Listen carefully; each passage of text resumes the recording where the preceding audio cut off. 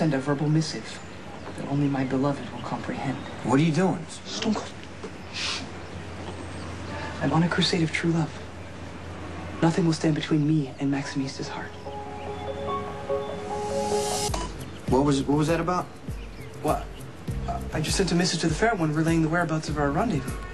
You recited a poem. Yep.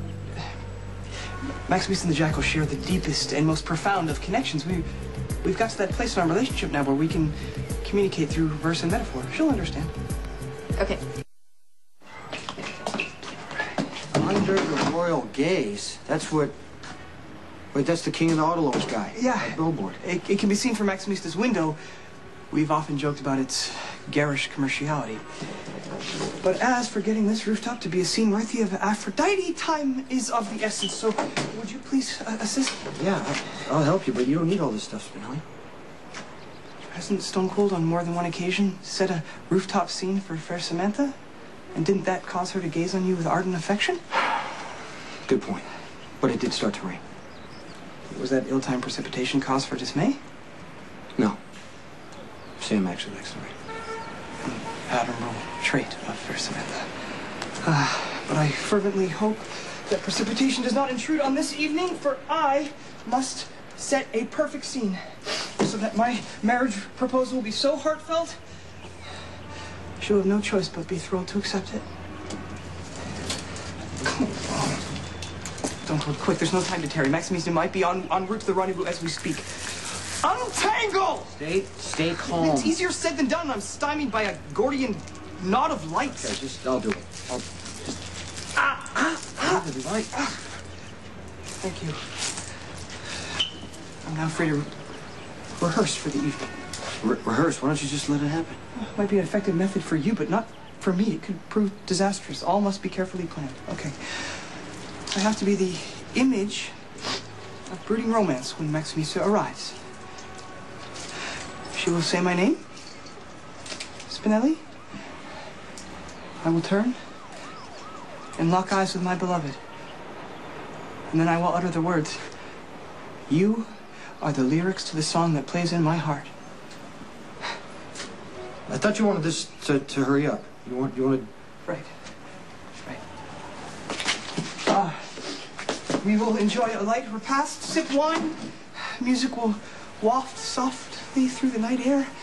I will then gaze into Maximista's luminous eyes, get down on one knee, and. I didn't procure a ring for the engagement. Oh, my God. A stone worthy of my beloved must be purchased and purchased hastily, and, and the furniture's not set up. Please, Stone Cold, I trust your judgment. Just, just go and, and, and just see whatever looks the sparkly. No, I- no, no. This is your proposal. You need to get the ring. Just let me take care of the furniture. Right, you're right as usual. Thank you. Yeah. I'll... What do you think? It's beautiful. Well done. Thank you so much, Stone Cold. You're sure about this? It's not too fast? Okay. This is your night. Enjoy it. Is there anything else I can do to help you? Actually, it's it's probably best if I'm solitary when she arrives. Okay.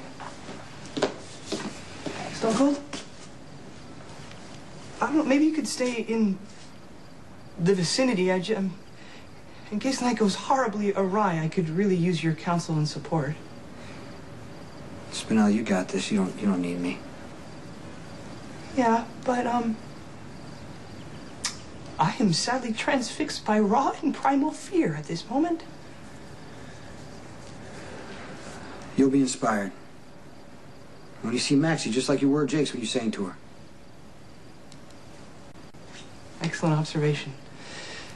Maximista is my muse. Words and actions will come when I see her. Good luck. Stone Cold? She'll come, right? I'm sorry, that's needless conjecture. Pay no heed.